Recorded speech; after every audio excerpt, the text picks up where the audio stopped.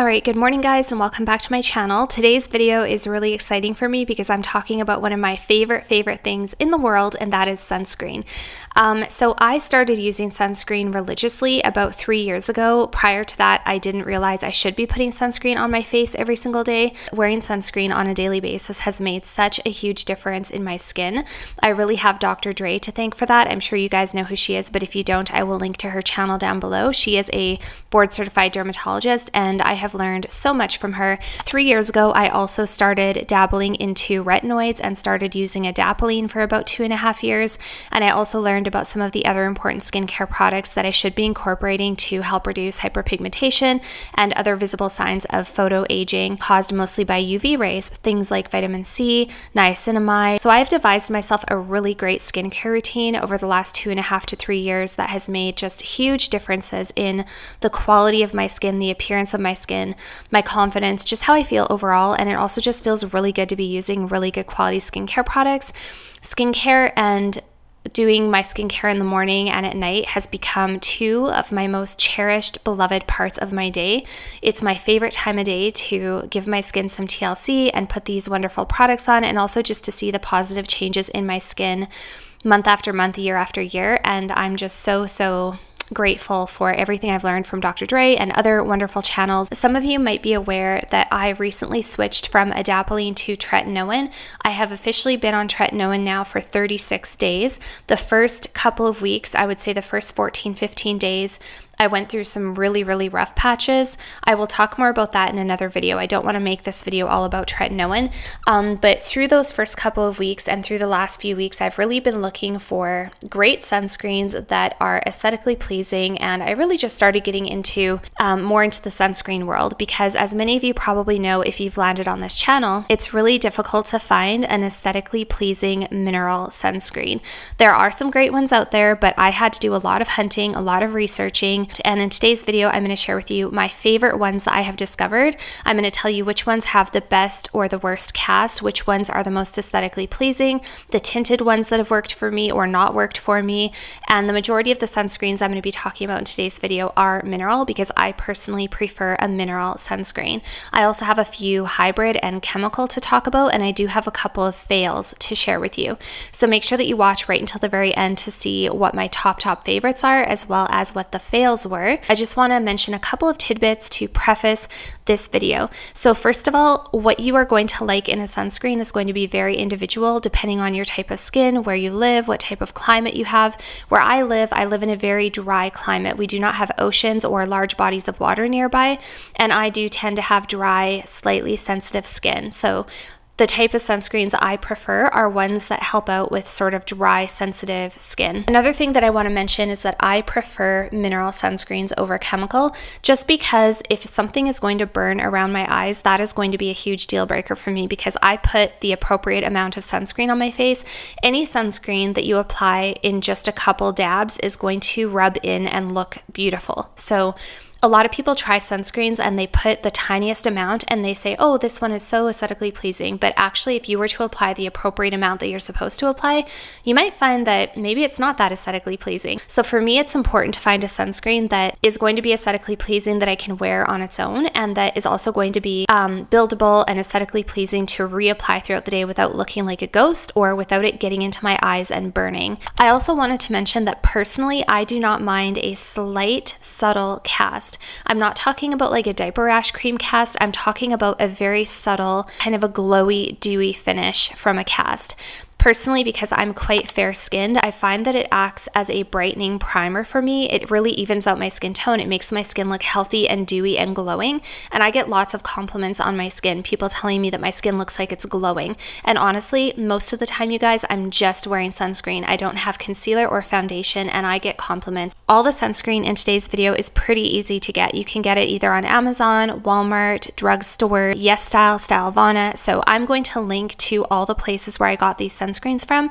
Not a single product in today's video was gifted to me. Not a single product is sponsored. I spend all of my own money on all of these sunscreens.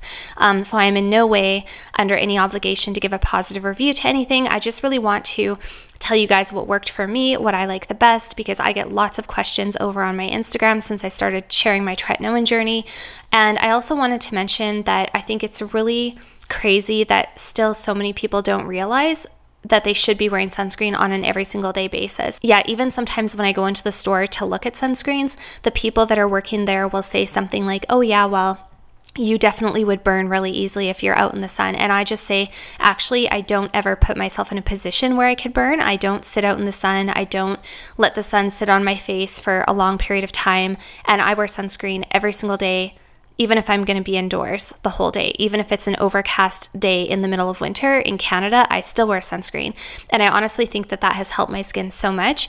I am in my late 30s and I'm often told that people think that I'm in my early to mid 20s. So obviously something is working. I'm doing something right. Um, so anyway, without further ado, let's get into today's video. And if you guys have a holy grail sunscreen or a mineral sunscreen or a Korean sunscreen that you think I should try or that you think other people would be interested in, definitely list it down below so that it can help everybody find even better um, products. And yeah, without further ado, let's get started with these sunscreens.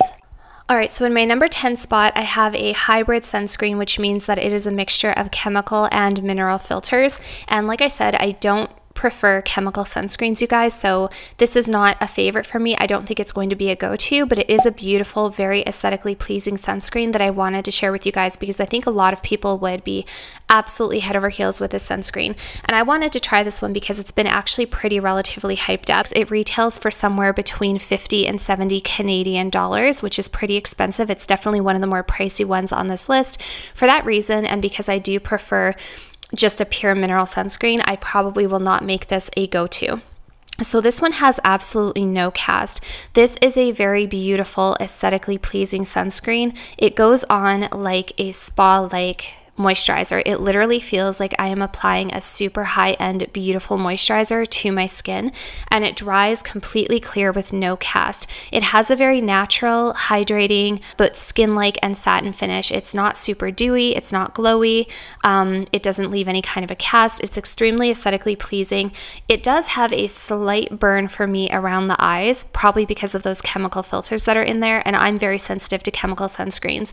Um, it's really hard for me to find a sunscreen with with chemical filters that doesn't burn around the eyes. I will say that this was definitely less irritating for me than some other chemical sunscreens I've tried. So this one definitely got a higher rating for me just because overall it's feels very high end. It feels like a luxury spa product. Um, it's very hydrating and it's extremely cosmetically elegant. So if you're somebody who wants something that's going to dry down completely, um, is going to look great under makeup, you can wear it by itself if you already have great skin and don't want to wear any foundation. This one would probably be a great one for you. One other thing to note about the sunscreen is it does also contain niacinamide, but some people do find niacinamide to be a little irritating. So if your skin is sensitive, this one might be one to just be careful of, the niacinamide could be helpful for you or it could be irritating for you. Personally, um, when I was in the beginning of my tretinoin journey, I could not put anything on my face that contained niacinamide. It just burned terribly. So, just something to note with the Elta MD Clear is that it is not just a straight up sunscreen, there's also other ingredients. In my number nine spot, I have a pretty hyped up Korean uh, sunscreen. And Korean sunscreens are something I've been getting into a lot lately. This one is Beauty of Joseon. You guys have probably heard of it. It has this beautiful, like really pretty packaging. I was so, so excited to get this sunscreen and try it out. This is actually a hybrid. So again, it has a combination of chemical and mineral filters in it. And it is an SPF 50 with a PA rating of four pluses. If you guys aren't aware of what a PA rating is, it's essentially a rating of how well it blocks the UV UVA rays, which are the ones that are responsible for aging. You can remember it in terms of UVB stands for burning and UVA stands for aging. So when you're looking at preventing those visible signs of aging, you want to get a sunscreen that has really good filters that will block the most amount of UVA. But I think 4 Plus is like considered one of the absolute best for UVA blocking um, abilities in a sunscreen. So I think the reason that this sunscreen went kind of viral is because again, very cosmetically elegant, very aesthetically pleasing and dries down to almost nothing. It looks like you are not wearing a sunscreen at all. It's very hydrating and feels very moisturizing on the skin. And again, it is a kind of a spa-like, um, really enjoyable experience to apply this sunscreen. It does not feel like you are applying sunscreen at all. Um, what I will say is that, again, when I'm testing sunscreens, I put them around my eyes because you have to apply sunscreen around your eyes. Skin cancers are common around the eyes. Not only that, but of course, your visible signs of aging. So you don't want to be avoiding that area. So when I applied this one around the eye area, I did notice that I got a slight burning sensation, but nothing like what I get with the American sunscreen. Um, so this one did not cause burning around the eyes to the point that I felt like it was unbearable, but it still for me is a little bit of a deal breaker because I have so many great mineral options. Why would I put something on my face around my eyes that even slightly burns? Like why would I put myself through that? It doesn't have any cast at all. It dries down, like I said, completely clear. You really cannot tell that you're wearing sunscreen very aesthetically pleasing. But for me personally, that slight burn around my eyes is still going to be a deal breaker when I have so many great mineral sunscreens to choose from that don't burn my eyes.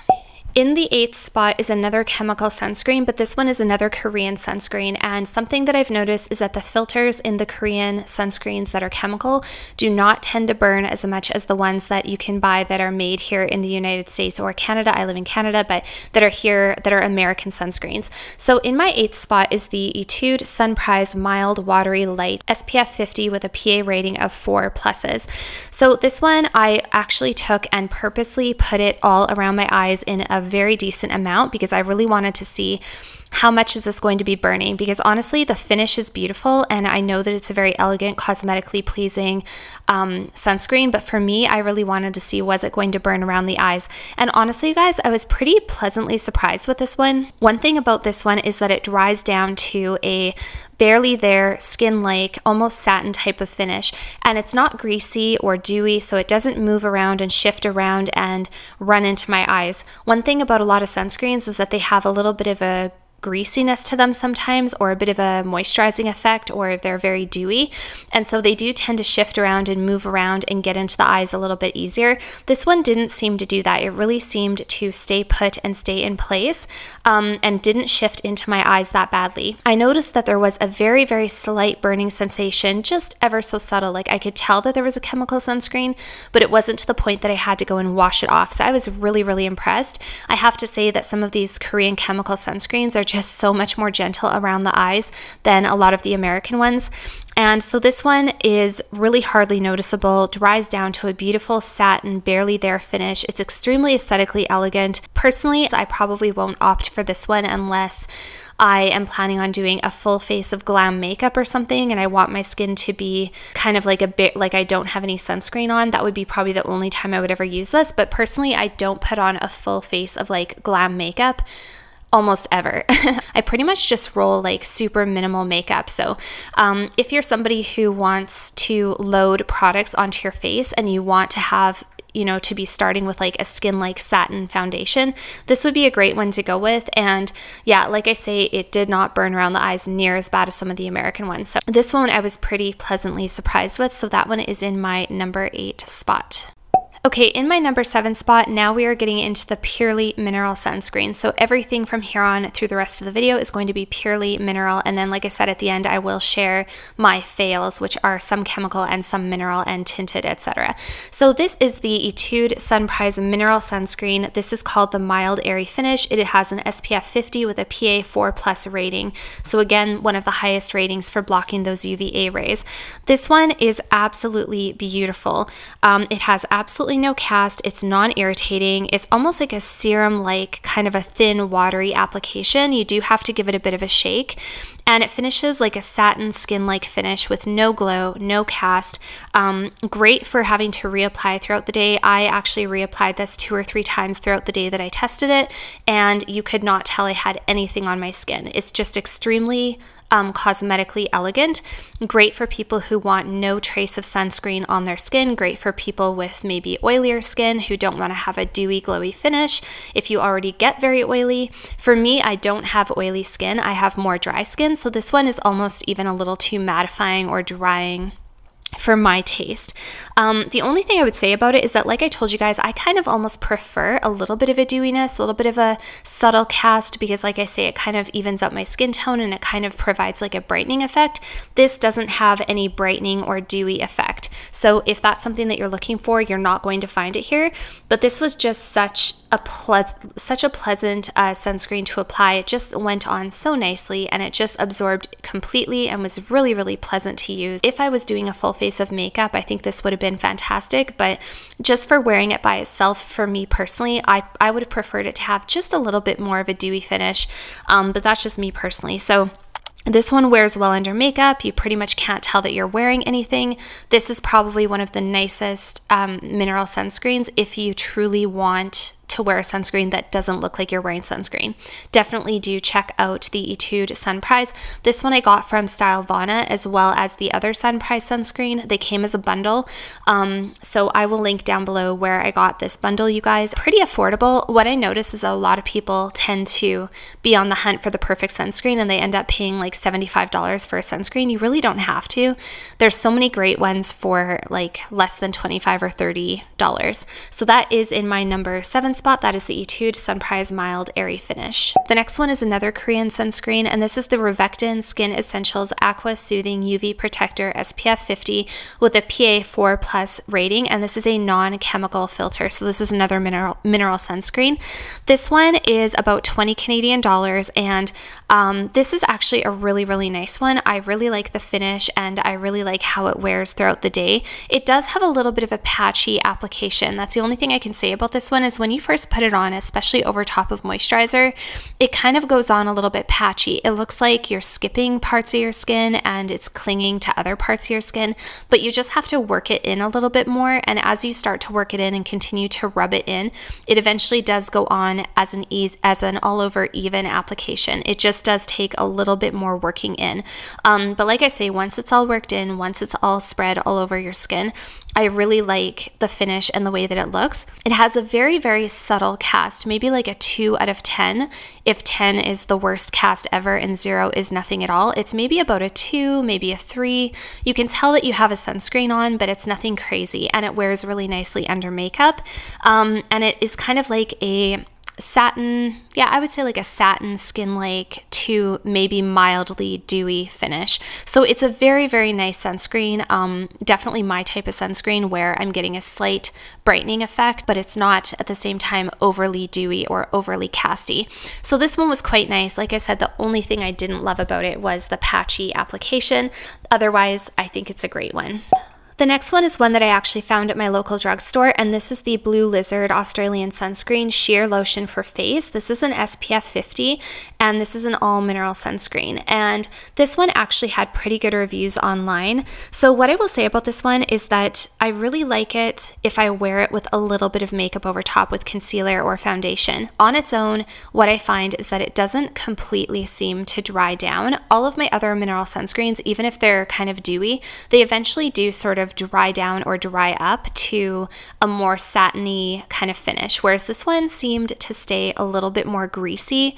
Throughout the day, it didn't seem to ever completely dry down. However, once I put a little bit of concealer on top, that kind of dulled down a little bit of the dewiness, and then it just looked beautiful. It just made my skin look beautiful, vibrant, and glowing.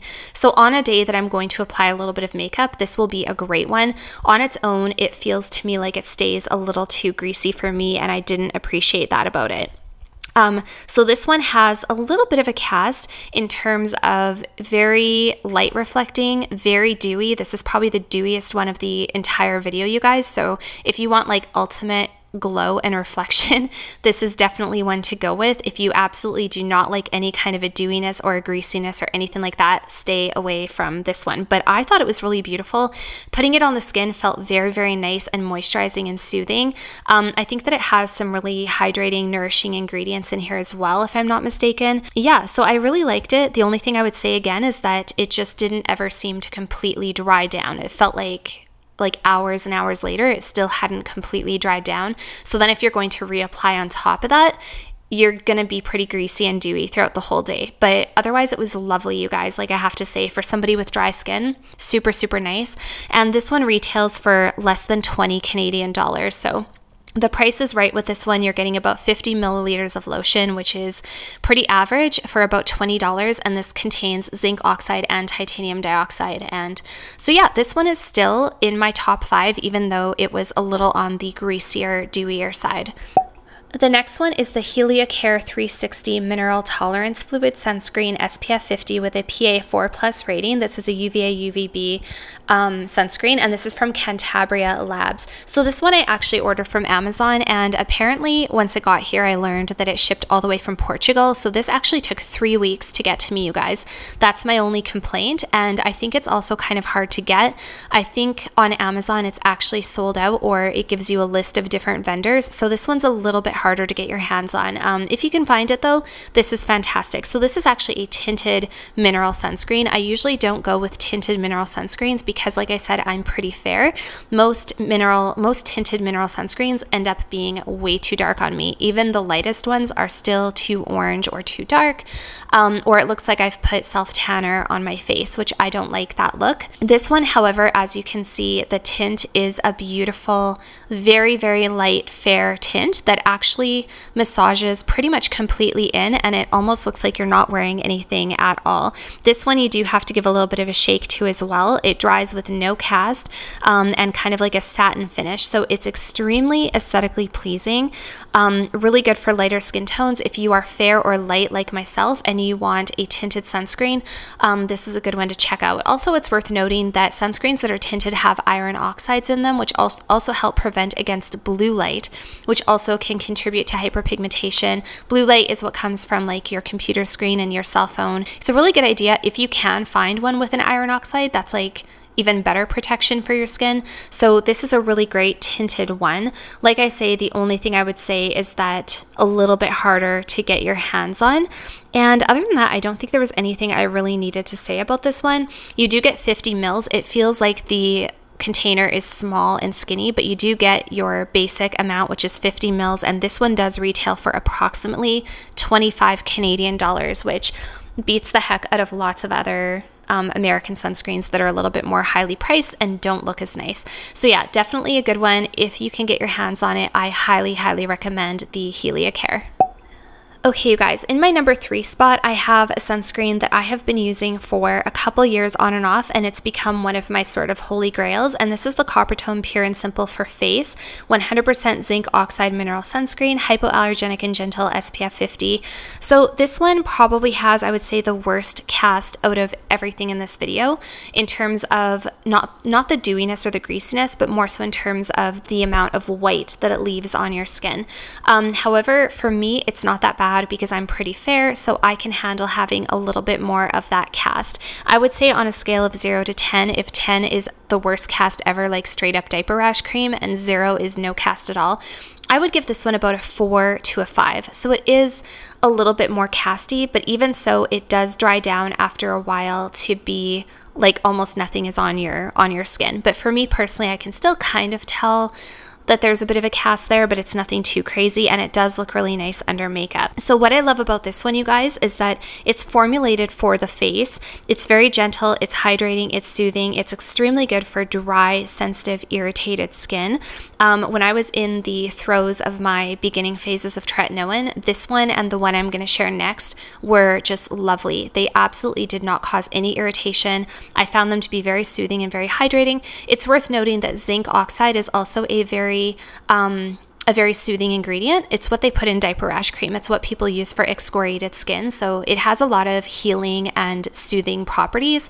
So great for if you have dry, irritated skin. Um, so it does dry down almost cast free on me, but for the first couple of hours, it is a little bit more casty. But like I say, it's not something that I mind at all. If you have a darker skin tone, this might not be good for you, but it's not pasty like one of the fails I'm going to share at the end of this video. It's not like a pasty diaper rash cream kind of a cast. It's just like a little bit whiter it, it definitely has more of a brightening and whitening kind of effect on the skin. Like I said, I do actually prefer if my sunscreen provides a little bit of a brightening effect, so that doesn't bother me at all. So in my number three spot, I have my Coppertone Pure and Simple Face. I will throw this on if I'm just hanging out at home for the whole day and I just want some good skin and skincare and good sun protection and I don't really care like if I'm going out, if I'm seeing people. That being said, I will also wear this if I go to work. So, and I get compliments on my skin when I wear this. So it can't be that bad. so that is in my number three spot. This one is also super affordable, you guys. It's $10 and you get 59 mils and you can find it literally at Walmart, any drugstore. So super easy to find. Love this sunscreen. Okay, in my number two spot, you guys, I have sort of my holy grail sunscreen that I've been sharing with you guys for a really long time. This is the Coppertone Pure and Simple for Baby.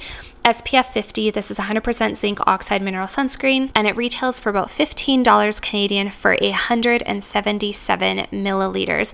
So this is by far the most economical sunscreen in today's video, the cheapest one that you get for your dollar value. So this one again has a lot of similarities to the Coppertone Pure and Simple for Face, except this one has a slightly less um, casty finish, believe it or not. So this one is a little bit less casty than the Pure and Simple Face. Still does have a little bit of a cast, but nothing too crazy. I would give it like maybe a 3 or 4 out of 10 if 10 is the worst ever and 0 is no cast at all. Again, it's extremely soothing and hydrating. It's formulated for babies. It's very, very very gentle. It has no fragrance. Um, and this one also does dry down and leave almost no cast. It dries down pretty much cast free. It does take a couple of hours, but it eventually does become more of like a satin finish and less and less casty as the day goes on. And this one for me is just so wonderful because it's soothing, it leaves a bit of a dewy complexion, it makes my skin look hydrated and plump. Um, again, I get compliments on my skin when I wear this sunscreen. People tell me that my skin looks so healthy and like plump and fresh. It's just a really great sunscreen. It has a little bit of that sort of skin evening out, um, like complexion brightening, complexion evening characteristic to it because it is a mineral sunscreen. SPF 50, I mean, there's really not much else you could ask for in a sunscreen. If you don't like a dewy finish. If you don't like a hydrating dewy finish, you are not going to like this one and you're not going to like the other Coppertone.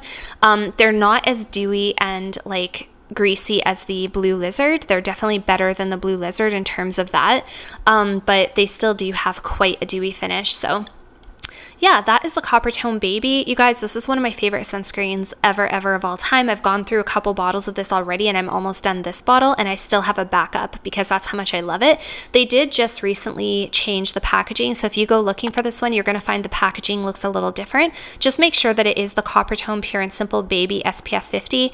I saw it at Walmart the other day and they had the updated packaging. So just make sure I'll try to find a picture of it and put it on the screen for you. Other than that, you guys, not much else to say about this one. I absolutely love it and I have saved my top new favorite, I think what will eventually be probably a holy grail for me for my number one spot. Okay, and in my number one spot, you guys, my top new favorite mineral sunscreen that I think might eventually replace my Coppertone. I don't know though because it's a little bit more expensive. It's harder to get. Um, it's not as readily available, but it is the Pipette Mineral Sunscreen Broad Spectrum SPF 50 fragrance free. This one I think is formulated for babies as well. However, this is a wonderful face sunscreen. So this is an SPF 50 like I said. It retails for roughly 30 Canadian dollars for 120 mils. You guys, you can't beat that. $30 for 120 mils still beats the heck out of 60 or 70 for like 50 mils, which you're looking at for some higher end, quote unquote, higher end sunscreens. This one is a mineral sunscreen that has, I would say, probably about a 2 to 3 out of 10 cast. Um, not as casty as the Coppertone, but not totally cast free. But for me, that's perfect because, like I say, I kind of like when the zinc oxides sort of even out my skin tone and give me a brightening effect. It's absolutely lovely. It's very aesthetically pleasing, in my opinion if you have a darker skin tone, you might not like it as much. But for somebody who I would say is like fair to light, even medium skin tones, you might really, really love this sunscreen. What I love about it, it is hydrating. It's very like nourishing and soothing it feels to put on the skin. It's a really lovely application. It dries down to a mildly dewy finish. So there's a little bit of a mild dewiness, but it's not greasy and it's not super, super dewy like the Blue Lizard or like the Coppertone. Um, overall, it really is very cosmetically elegant. It wears well under makeup and you can apply this numerous times throughout the day without looking like you've got a whole bunch of chalky sunscreen on your face. absolutely gorgeous, looks really nice, um, makes my skin look young and plump and fresh and dewy, which is exactly what I want. I can wear this without makeup. I can wear this just alone every single day as like a go-to sunscreen. I also like that you get so much for the amount that you pay. This one I got from Amazon and I think it is still available, you guys. This one is definitely worth getting backups. Um, it is a fantastic sunscreen and I'm so happy that I found it. I also think that the packaging is quite cute. So yeah, in my number one spot, you guys, we have the pipettes. Again, I will link this all down below. And now let's get into my three fails that I want to share with you. All right, so my first fail is another mineral sunscreen. This is from Neutrogena. This is the Neutrogena Sheer Zinc Face Mineral Sunscreen SPF 50. It says it's water resistant up to 80 minutes, hypoallergenic, and is 100% zinc oxide. So calling it sheer zinc, I don't know why they would put that on there because it's not sheer at all. Um, this was the absolute worst cast out of all the ones I'm mentioning in today's video, this is a terrible, terrible cast. I would give it like probably a 7 or 8 out of 10. Um, I could see it on my face the entire day. It did not dry down. Um, it just looked absolutely ridiculous. I felt embarrassed wearing it. I actually had to put foundation over top just to cover up the white cast. So with foundation, it looked okay but my skin tone still looked very unnatural and I just did not appreciate it.